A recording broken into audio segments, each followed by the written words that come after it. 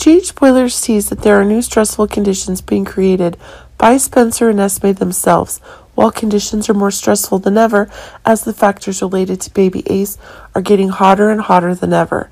But it seems that one of the new shocks is coming, and this is causing Laura herself to need new precise conditions to ensure that everything is still under control. Honestly, Esme and Spencer are getting more and more surprises if you can see that the features of the entitlements. The baby ace is getting are more and more explosive, but it seems that one of the new ideas is coming more quickly if it can be seen that one of the new ideas is coming, if Esme herself is still having other ideas for what stories will be. Took extreme actions when little Ace was in dangerous conditions in Spring Ridge. Although Spencer has taken faster action to ensure that everything is as accurate as possible, it's proving that one of the new unexpected conditions is coming. Esme is doing more and more crazy things to make sure that little Ace is still by her side, and this is making things even more stressful.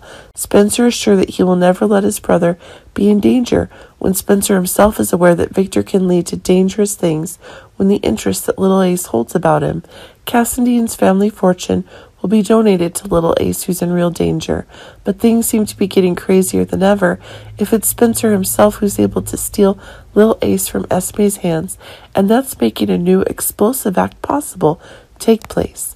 Laura's realizing that dangerous conditions are coming, and as the head of the Cassadine family right now, Laura herself is finding that her actions are more explosive than ever. Laura makes sure that baby Ace is still with his mother, and when it's precisely Laura is realizing that it is Esme that can provide the best care for baby Ace. But it seems that Laura herself is having a new condition for Spencer, and this is proving that Laura herself is agreeing that Spencer will probably be able to go to Spring Ridge on a regular basis so that she can get good care, best for baby Ace. Laura is also learning that Esme is still a teenager and there are possibilities that Esme's madness could return at any moment, and that's putting Ace himself in dangerous conditions. Danger more rapidly than ever, which is making Laura believe that Spencer's own love is about to explode.